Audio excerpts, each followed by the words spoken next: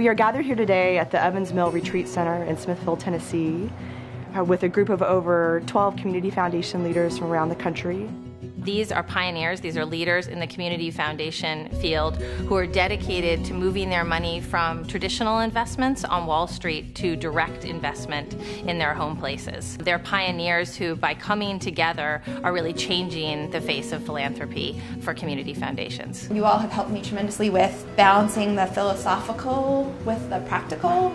Most of these foundation leaders who are trying to do this work felt like they were operating in isolation before the, we brought them together in the Community Foundation Circle. It can be a pretty lonely job when you're trying to move forward something that's unique. So having those really deep relationships with other community foundations prevents you from feeling a little lonely out in that space. It's just a validation that you're not crazy, that, that this work is important, and that we can think differently about how money uh, comes in and flows through our communities. The community piece of it is huge. I mean, it really is what makes it special and unique from anything else I've ever experienced. If I hadn't had this group to draw upon, I'm not sure I would have been able to lead that effort at my foundation. In that experience, I saw a lot of poverty. At each of these gatherings, we bring in domain experts to be a part of the circle. A lot of this is quite new, so having those resources of people who are experts in different pieces of this, being able to pull that together to move your strategy forward has been incredibly helpful. To be able to see what other community foundations have done and how they've used this tool in their communities, even though they're very different, you know, than us, there's so much to draw from and um, there's so much to be inspired by our board just this past fall made the decision to um, commit 20% of our assets to direct impact investing. And that was really supported by some of the feedback from the people in the circle.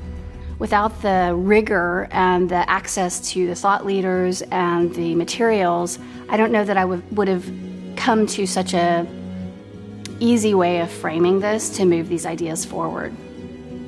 Each of them has become it's like a collection of pebbles that's been thrown out in all different directions.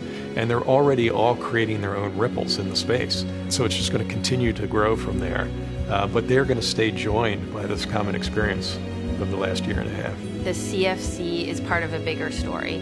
Both RSF and BALLE and all of the leaders who are involved in this really have a pretty audacious goal, which is that we would like to see a totally different economy one that actually honors people at a human level, creating these alternative solutions and then lifting up those successes so that others can walk towards them and replicate them, um, that we can hope to create an alternative so that we will have a very different future.